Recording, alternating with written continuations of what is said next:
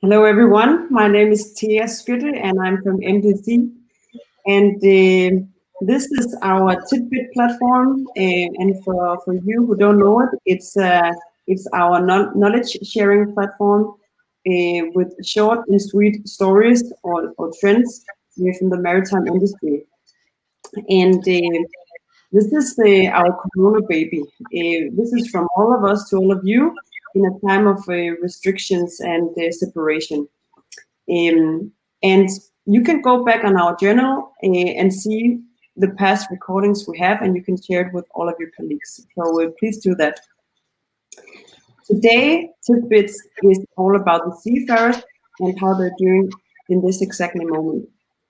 One and a half months ago, we had a, a webinar uh, with MDC where Lisa Loloma Frøholdt from the University of Southern Denmark, she was talking about the psychological aspects of being a seafarer in a time of a, a pandemic.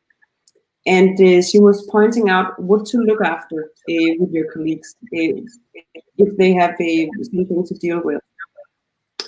But this is uh, difficult for us being ashore. So actually, I think it was quite lucky that only one month month ago, I was uh, seeing in the Shipping Watch news that there was a report from the Seafarers Happiness Index that actually showed the, the, the stage of the average mood of the, the seafarers right now. So me and my colleagues, we were contacting Steven Jones, who is here today, and he will uh, he will present the, the numbers of the report because actually I'm very concerned about the seafarers and how they are, they're feeling because we need to show them acknowledge for their for their jobs they're doing right now. And uh, we have to acknowledge that, that being a seafarer and being in the shipping uh, industry is not at all the same as 20 years ago. Because today we are we ha we're having our smartphones and we are connected digitally, so we also expect much more of each other and we're not at all used to so long contracts. So even though I'm uh, enjoying the nice weather in Denmark, I also send out the karma and, and thoughts to the seafarers.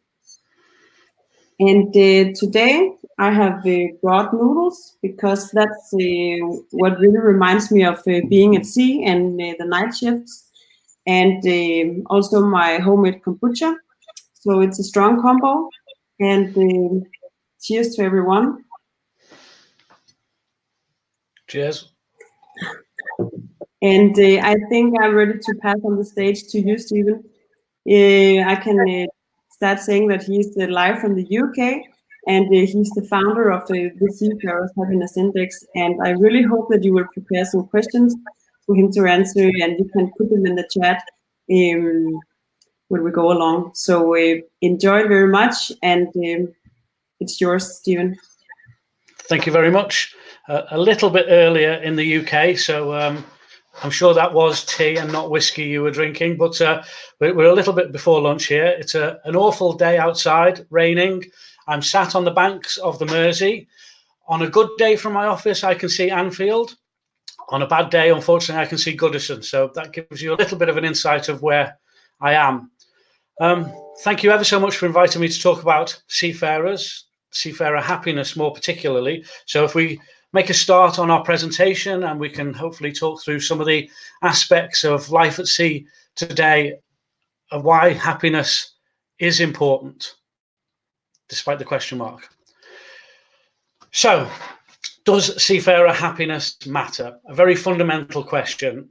Just to set the scene, and so there's no debate, yes, it matters enormously.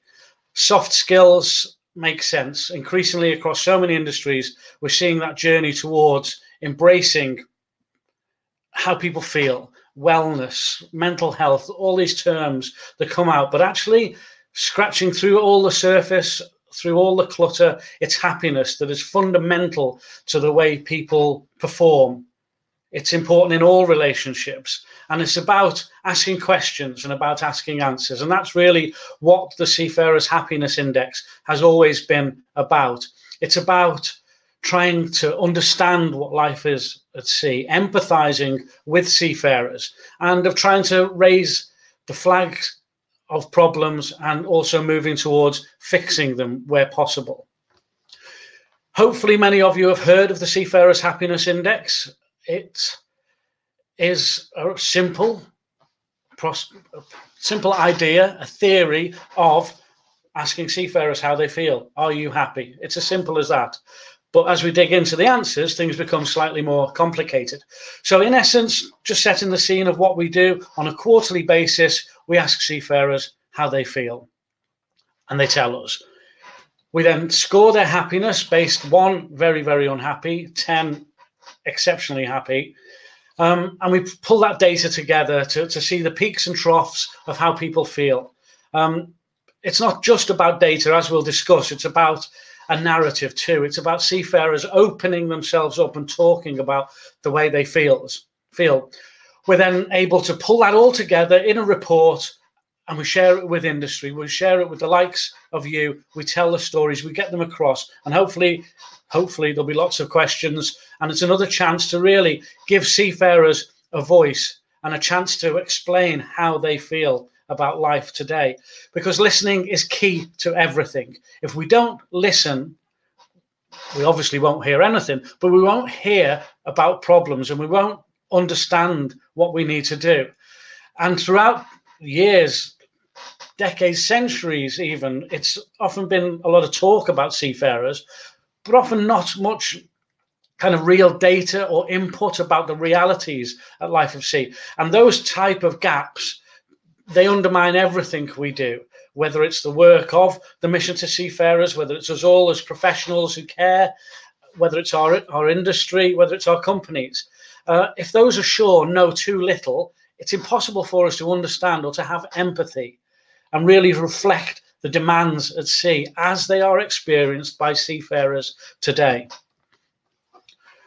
So, what does happiness mean? Well, it means lots of different things to lots of different people. And that's possibly one of the challenges of the index. How do you take such a subjective issue and try to kind of flatline through it and um, understand what an individual is experiencing?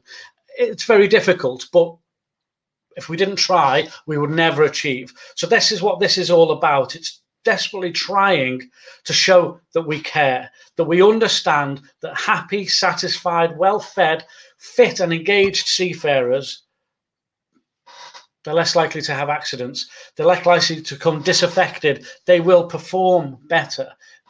They will be part of an industry that we can be rightly proud of. Obviously, and we will discuss the COVID 19 issue later on in the presentation, and certainly, hopefully, when you're asking questions.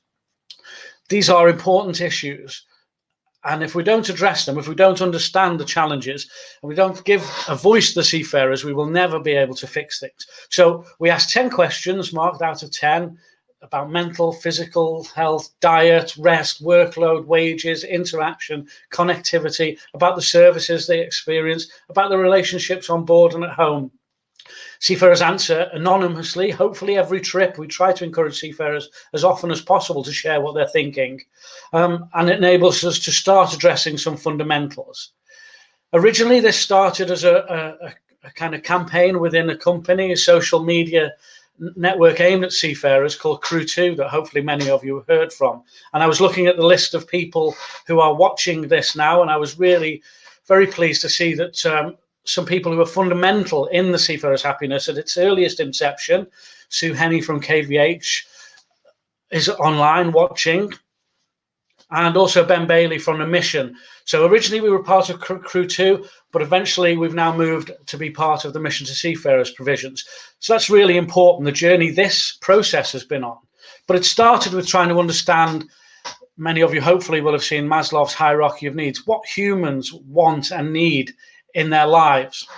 And we thought, well, what about seafarers? What do they need and want? So we tried to kind of build our, our triangle, our hierarchy of needs to, to reflect what seafarers want. Yes, the physiological, the, the food, the drink, good air to breathe. Um, but then through the various layers up through the culture of seafaring, their own esteem, and where people want to position themselves as their careers um, progress and also in seeing that, that's the positive, the upward trends, if you like. It's important to know what happens if people are pushed down, if they're not getting the things that they need, and seeing this gradual decline in mental health and well being.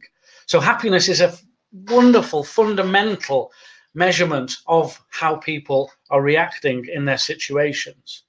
As I touched upon earlier, it's not just about data. The data is important, it's good, and it gives you a good hook. It gives you something for the maritime press to get their teeth into. Oh, the happiness has declined, it's one point down. That's useful and it gives people benchmarking, and we'll talk about companies doing the benchmarking. But to me, the more telling and important insight is when seafarers open up and they tell us. They tell us about how they feel. They tell us about the things that are affecting them, what they are going through, what they're experiencing. And in doing that, combined with the data, then all of a sudden employers have an opportunity to see where people, where things are going wrong, where their people can be supported. The small chipping, chip, chipping away at what it is to be a seafarer and what life is. So let's talk about the index very briefly, what it is. We talk to seafarers, and thousands of seafarers across every quarter thankfully step up and share what they feel with us. It varies month, uh, quarter to quarter about the waxing and waning of who tells us what. In the main, I would say bulk carriers, container ships, tankers, they do tend, to, as you would perhaps expect, to tell us the most. Deck crew, deck officers tend to be more open than engineers. As a former deck officer myself, that probably tallies with my experience of engineers, but we wouldn't like to cast aspersions. Age groups, really, thankfully, we're in this kind of really good zone. Uh, 25 to 35, where people are starting to see perhaps that they are going to have a career at sea. So it's great that we do get the majority of seafarers respond to us in that kind of zone. The one area where we suffer, and again reflective of industry, far too few females um, respond. And that is something that we need to work really hard on trying to encourage that engagement with female seafarers. Um, those female seafarers that do talk to us, there's a real kind of wide gap between their experiences from those who are having the absolute living their best life and best career and so pleased that they're at sea, through to those that unfortunately are suffering from bullying and various other problems at sea. So, really, we do need to hear from more female seafarers. And I know that's an issue that uh, many within the industry are trying to address. So every quarter we we pull the data together, we have a report, and here you can see the 10 different questions that we ask. And you can also see the latest data, which was the end of the first quarter 2020. Uh, on average, the happiness level was down, and it seems to have been coming down over quite a number of the last few quarters. And you can check out all the reports, uh, more of the kind of analysis on our dedicated website, which is happyatsea.org. More of that later. Um, but these are the areas we cover, and we can plot how people are feeling, how seafarers are experiencing the various elements that make up their life at sea. So, if there's any questions on the data, then happy we can push on to that later. In quarter one, obviously, reflecting the terrible pandemic that's going on around the world, we really wanted to focus in on the COVID effect on seafarers. Early in the year, this first quarter, it was really telling that we were kind of seeing the first kind of seeds of what was going on, of the problems to come. And through that first three months of the year, there were definite causes concern. Tensions were starting to rise. People were starting to feel a little bit stuck, but unsure really of who they were going to fight with to get themselves home. And morale was starting to be impacted. And in the latter part of the quarter, we really could see the figures coming down. And these were the voice is of the seafarers in these past couple of weeks as I've started to go through the data, which we haven't calculated and analysed yet. But it feels like it's a dam about to break. The tensions, the frustrations, the annoyance are building. And it is my view that it's reaching a pivotal point. People stuck on ships, unsure of when, if, how they will get home. And conversely, we're also hearing a lot from seafarers stuck at home worrying about their profession, do they have to start to look elsewhere for a job? And it's really starting to, to really have a terrible impact on seafarers. Um, the message from them is clear that port flag states, their home nations, the transit destinations, even the airlines need to be considering more. And it's clear that we do have to work together to find the solutions, the right things. Um, early on in this process, I started to, to compare the responses we were getting from seafarers to be akin to the stages of grief. I don't know if many of you are aware of this kind of the, the seven points of, of how people deal with grief. And this was definitely what seafarers were experiencing when it looked like they may be trapped on ships. At first, utter shock. This can't be happening into the denial phase. Then there was anger. This can't be right. Someone has to act. And then we saw lots of crew just just get me off. I just need to get home. And depending on where they've been, whether they feel the answers are going to eventually come, come, then there is some degree of acceptance or depression, and there's no sign in sight of any kind of solution to these problems. And unfortunately, too many are in that kind of position at the moment. But there's definitely this kind of heavy pall hanging over seafarers. Aside from the COVID issues, there are ever present problems. And throughout this was a kind of snapshot of the the year just gone of the happiness index. Um, the, before covid distracted everyone from the uh, low sulfur fuel debate there was definite fears about criminalization sneaking back in. Loneliness isolation are always perennial problems. The issue of shore leave before people were staying on board because they weren't allowed off for, for the uh, virus. Again another problem that constantly comes around concerns about connectivity and engaging with their families the cost of communication the standard of quality of um, communication is always an issue although i know some companies are working very hard in that space. Food too much fried food people feeling unhealthy not getting the exercise that they want and concerns about wages so time and time again these are the messages from seafarers out in the global fleet fleets that these are the problems they're facing. So that's where we are. That's what we do. That's what we care about. We're focusing on trying to get the message live from seafarers.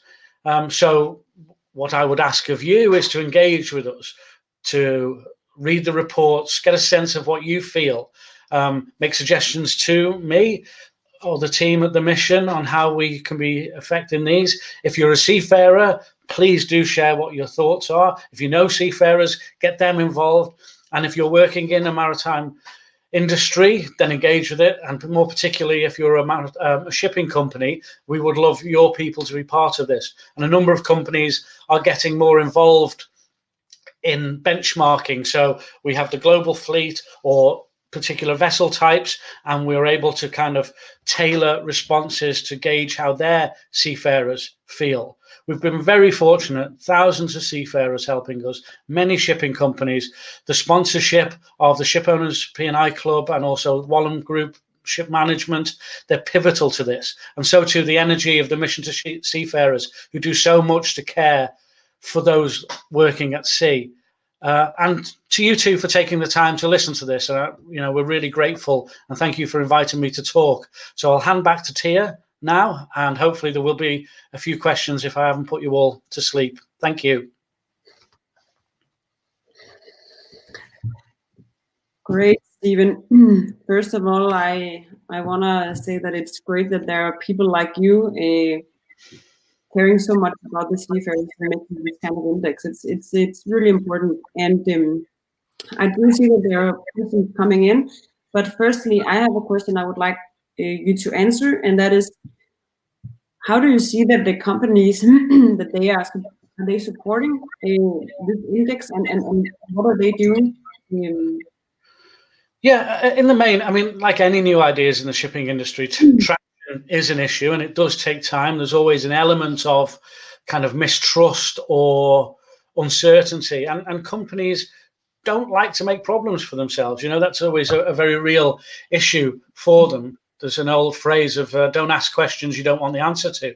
But increasingly, we are finding shipping companies that can see the benefits of understanding how their seafarers feel. There are definite issues that we tease out every quarter. There are opportunities to improve. There are small changes that can be made that will have a massive increase on happiness.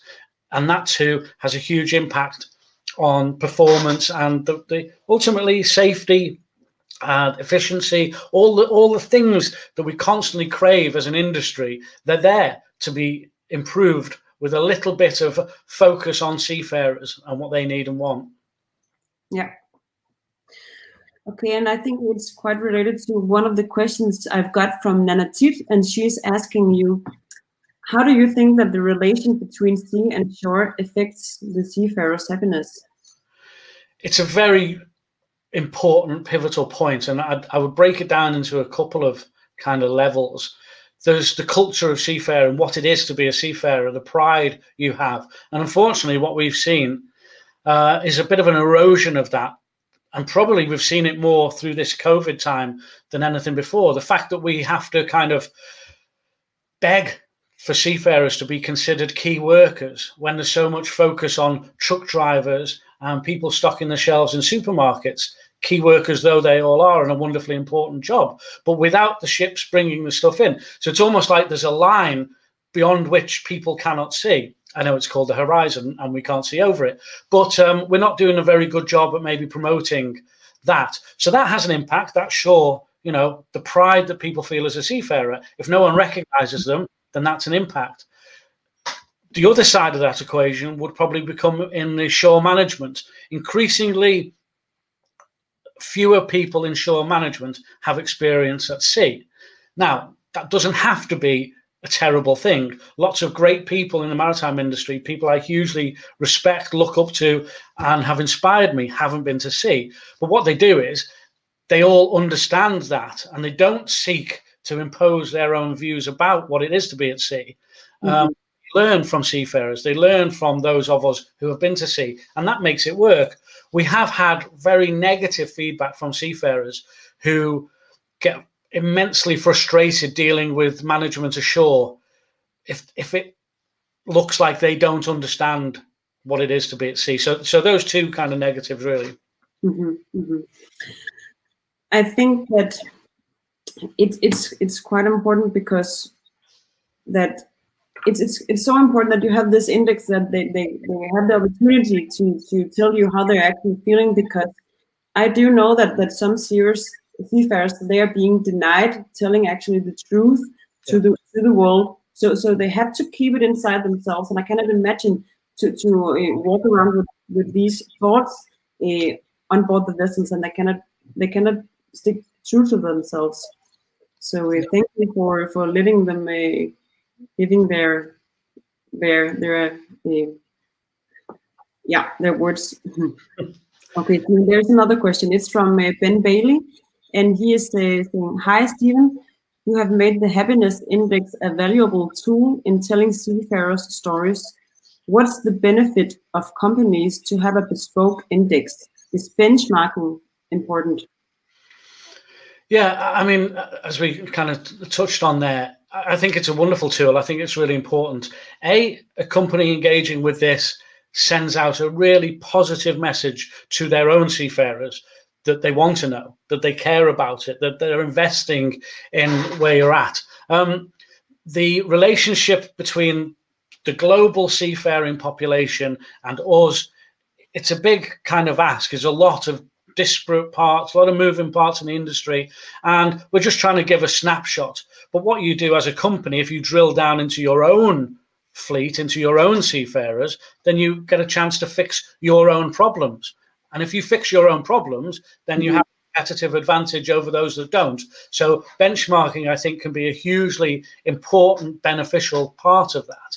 And hopefully, what we have in the mission, myself and, and Ben and, and the people, the team that work in that, is an understanding of protecting the anonymity of not only the seafarers, but in making sure that we do support companies who are trying to do the right thing. So um, I think from a commercial perspective, it makes massive sense. Mm-hmm.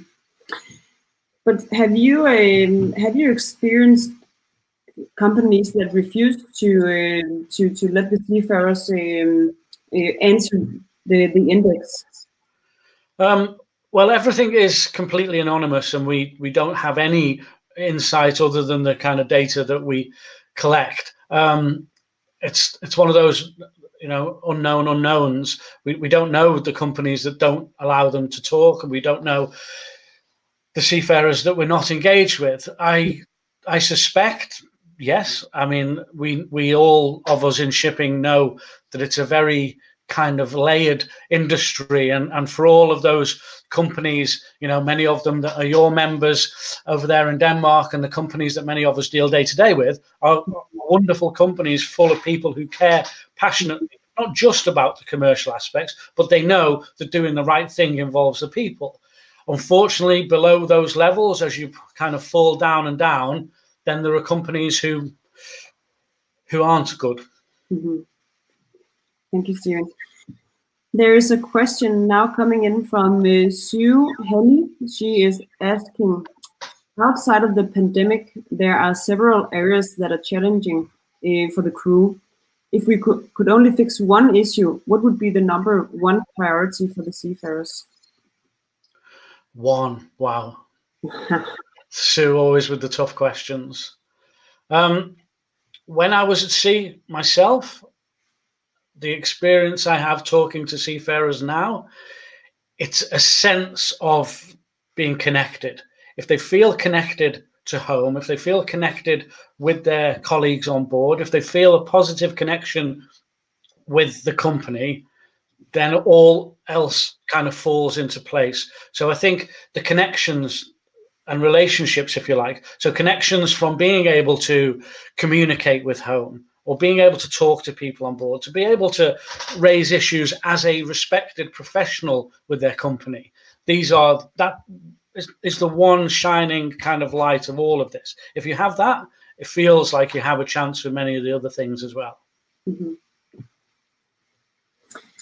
Søren uh, is also giving a, a question. He is asking, do you see any connection between the level of seafarers' happiness and leadership at sea?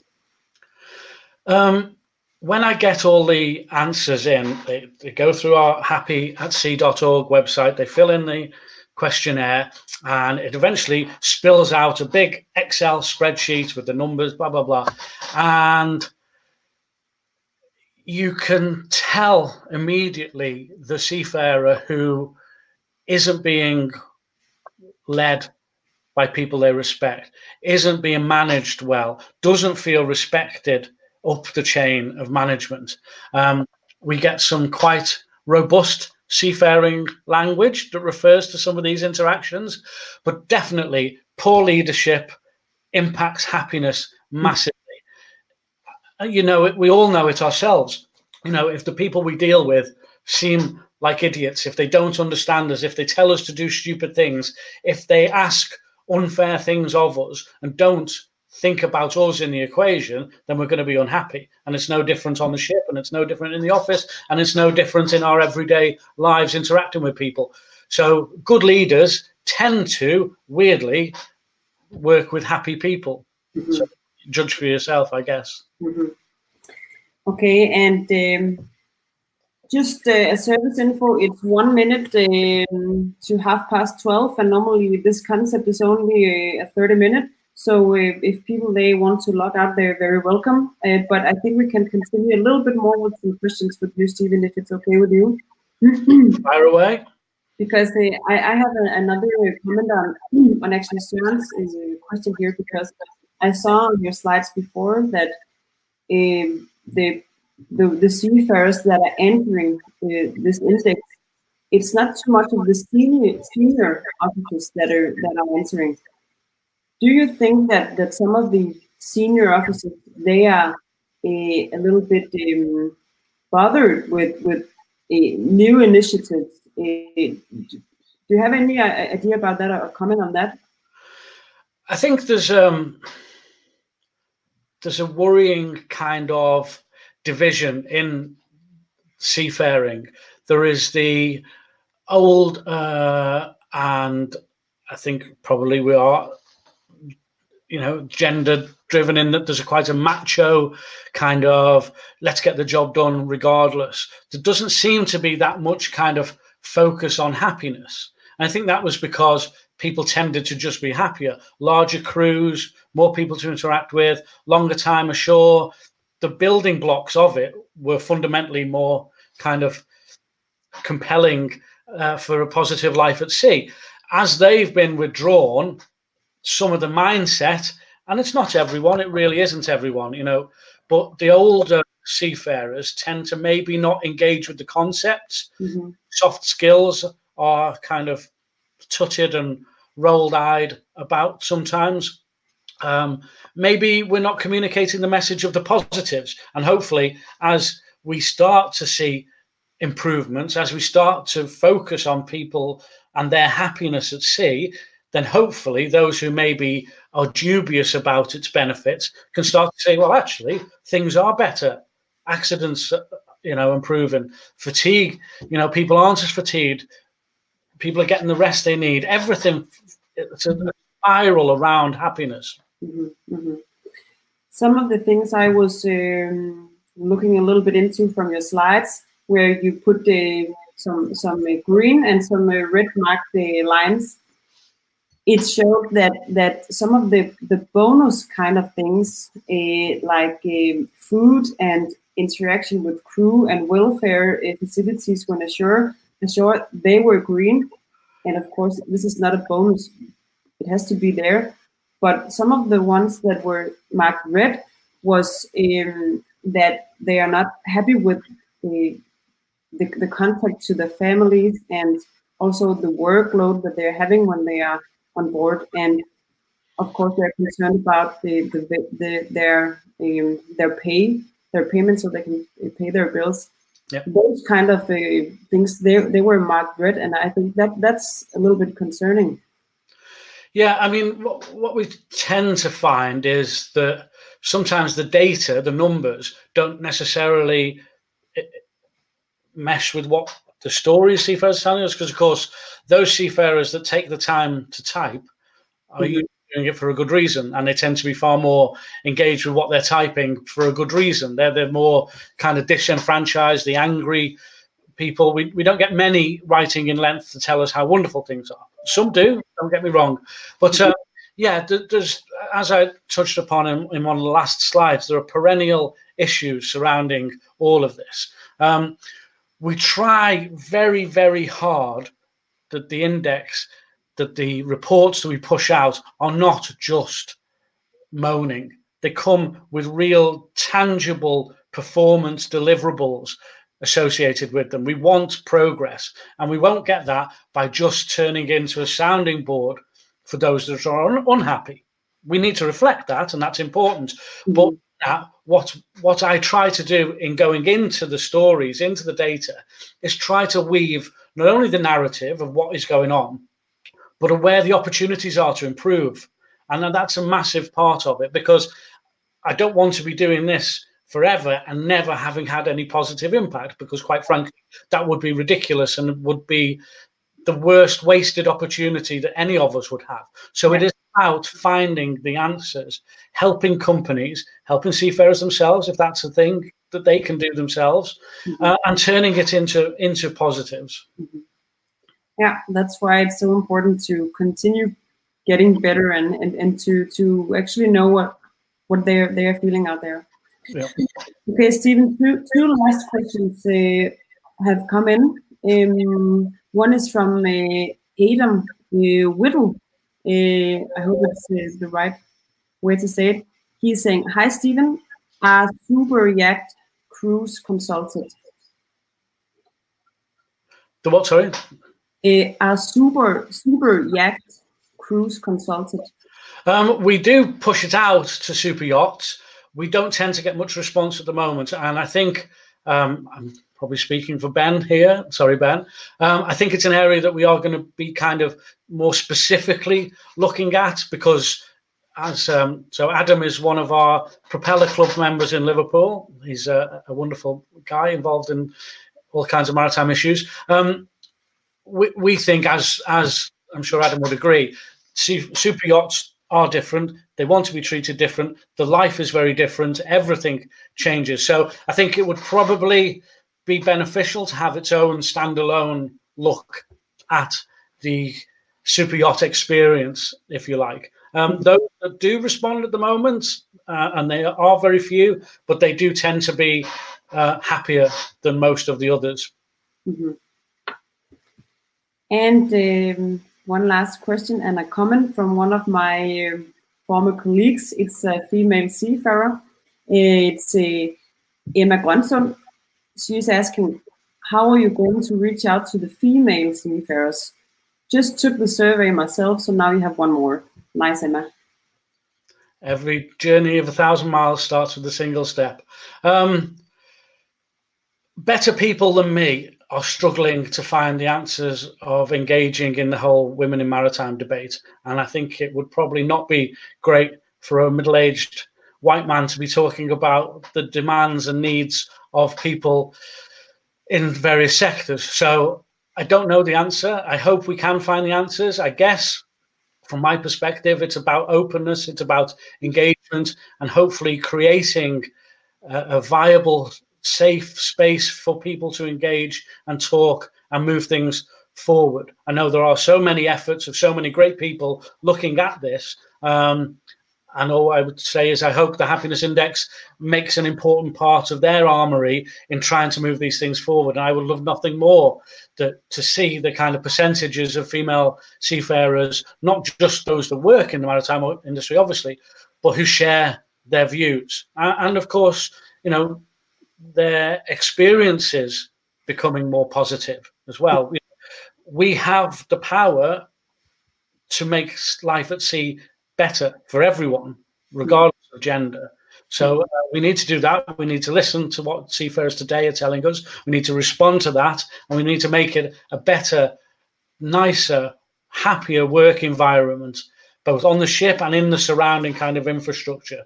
So mm. making seafarers feel welcome, feeling part of the bigger picture, what they're doing, being key workers, understanding the respect, and that each and every nation would collapse within a couple of days without ships coming in and bringing us the things that we need, want, and crave. And that's the fundamental.